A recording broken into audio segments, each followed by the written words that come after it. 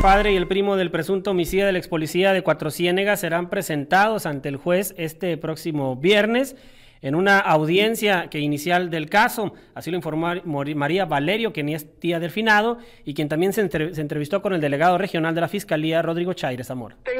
Rodrigo Chaires, pues ya se, integró la primera carpeta, son dos carpetas las que se, se, trabajan, ¿verdad? Primera ya se integró, ya se consignaron al juez, entonces ahora nada más esperar la audiencia con el juez, que es el próximo viernes. ¿A qué horas? No, eso sí no sé todavía porque este apenas nos acaban de, enviar el, expediente, tiene que revisarlos el juez y luego ya ellos ya te dicen, o sea, aquí el detalle es de que este como mi hermano pues no ha podido él pues por la situación verdad en que se encuentra, este él no puede andar directamente, pero sí este su servidora que ha andado ha estado al tanto, pues hasta ahorita es lo que tenemos. ¿Piden justicia, señora? Claro, que se está pidiendo justicia, o sea, es que pues fue una manera tan cobarde de que por la espalda y pues inocentemente, ¿verdad? Y en presencia de los niños, o sea, su trauma psicológico de los niños,